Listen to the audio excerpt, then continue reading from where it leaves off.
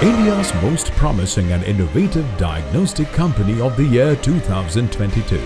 And the nominees are Krsnaa Diagnostics Limited, Fuji Film India Private Limited, Pathkind Diagnostics Private Limited, Lifecare Diagnostic and Research Center Private Limited, H Diagnostic Center, Suburban Diagnostics Private Limited.